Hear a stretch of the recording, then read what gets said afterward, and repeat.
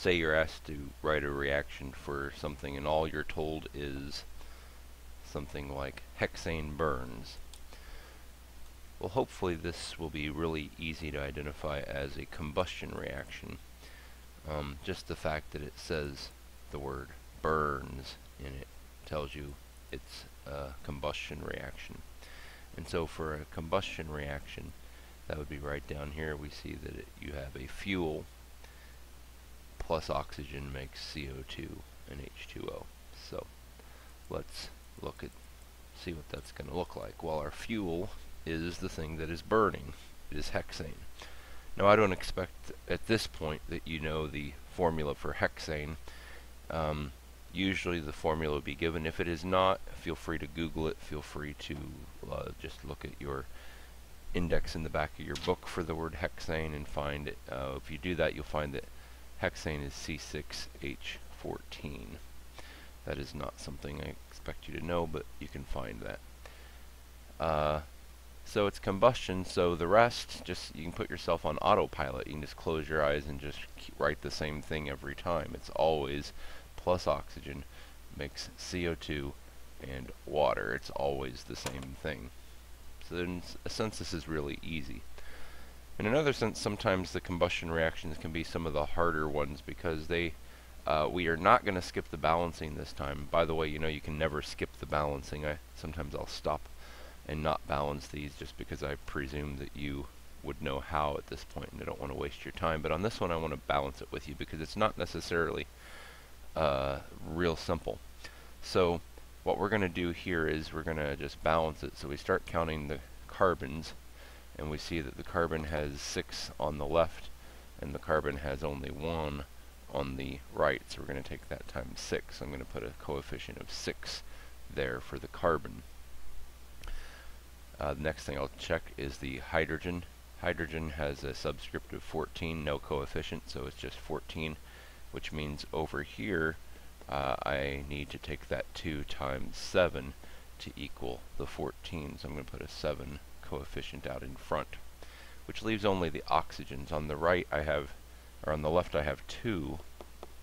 2 on the left, on the right I have 12 here, 6 times 2, but I've also got 7 more over here.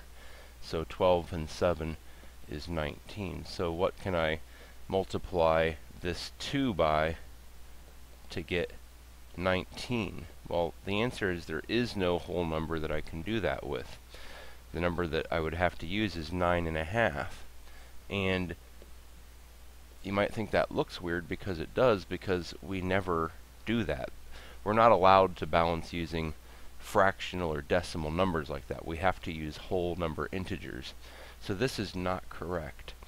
So we don't want to do that. However, even though it's not allowed, I would encourage you to go ahead and do it because doing it gets you one step closer to actually being correct. What I'll show you you can do now, you'll notice that it currently is actually balanced. This is a balanced chemical reaction. We have everything accounted for. We've just cheated. We used a fractional number, a decimal number, to as a, as a coefficient. So uh, what I would point out to you though is we could actually double this number and then it would be a if we doubled that number it would be a an integer. Nine and a half times 2 is 19 and why would we do that? Well because what if we double this as well? This 1 becomes a 2 this 12 or I'm sorry, this 6 here becomes a 12. I've lost my arrow here. And this 7 becomes a 14. Well, why did I do all that? Well, because I just took everything times 2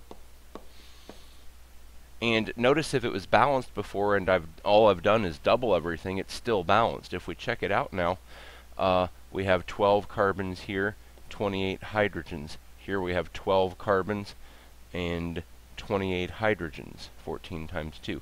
And here we have 38 oxygens, and here we have 24 plus 14 is 38 oxygens. And so that uh, is how you would balance that. Now I've kind of made a mess now, but the final answer is 2 C6H14 plus 19 O2 arrow 12 CO2 plus 14 H2O. Now on these combustion reactions, I will give you a little pro tip.